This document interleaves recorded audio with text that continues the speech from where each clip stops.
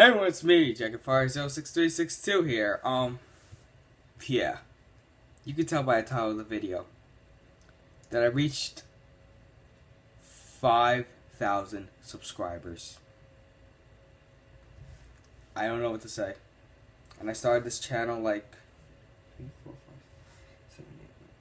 like 10 months, and it's amazing how I could actually be this successful if I keep on putting more effort into my content and keep on trying and trying and trying and trying to, you know, make my channel successful and voila.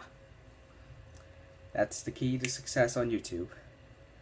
Put more effort into your content, make a lot more of your videos more interesting for other people to uh, come to your channel, and, oh, yes. Of course, I did have a few successful videos. There is the uh, Evil Clown.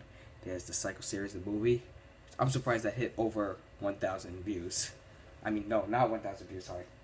100,000 views. And someone in the comments saying, I bet this video is going to reach over 100k views. And, well, he was right. I reached over 100k views in that video. But overall, you know, we all got to have that one, two, or more videos that are really successful, that you get more subscribers, you get more viewers, you get a lot of comments, a lot of likes, dislikes, whatever. And that's the key to make your channel grow.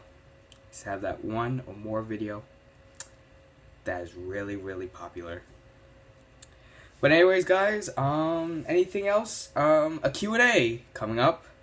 And another reaction video, which of course I asked the user's permission if I could do that because basically I just do those reaction videos just for fun.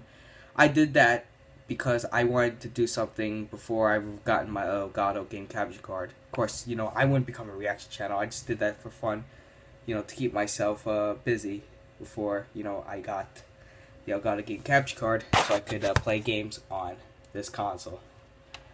But other than that, I hope you guys enjoyed the video. Don't forget to leave a like, comment, subscribe, share my content, and as always, I'll see you guys in the next video. Peace out.